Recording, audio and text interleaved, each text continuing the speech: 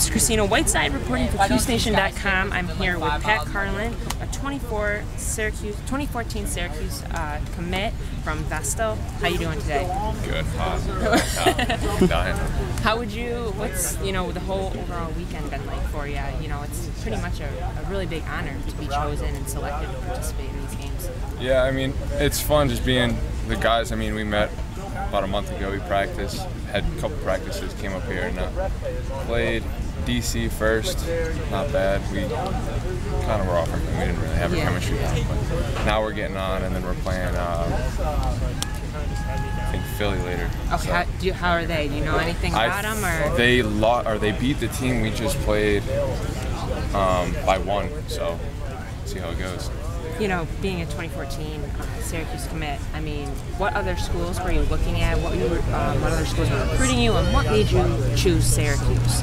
Rutgers really was going after me a little bit. They were sending me a bunch of emails like every day. It was just, um, but RIT because I kind of want to go into engineering. But I mean, going up, going up to Syracuse, visiting for a little bit, just seeing everything, like how the family and stuff up there. Like facilities are awesome. I like the coaches. Now, is I mean, you're not too far away from Syracuse. No, Probably. about an hour. Yeah, an hour. About an hour, 45 minutes. So was being local factored in there too? Like a lot of kids say, like their parents can come to the games and all that, but or That's also fun. Like my Yeah. parents can come, but I mean, I didn't really want to go too far, like down. I mean, Rutgers five hours.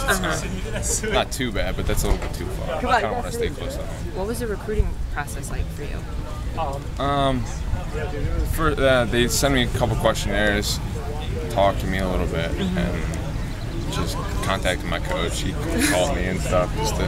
When did you when did you commit? 'Cause, I mean, with lacrosse now, it's going It's- crazy. It's kids are committing early. Was it an early process for you too? It was summer, end of summer last year. I called Lelan up. I, oh, I don't know, be ver- or verbally committed. Yeah. Verbally committed. What did he say? Like, it was he the really big reason, Coach Lelan Rogers, Yeah. the big reason. That's, that's who toured me around the campus and kind of talked me up about it. What is Syracuse getting in a, in a couple years uh, in a player like you? Yo, Willie, wait I up. mean, I'm gonna come out, work hard every day. You know, um, just kind of put my nose to the grindstone and just get get stuff done. For all the latest Syracuse sports headlines, be sure to check out CuseNation.com.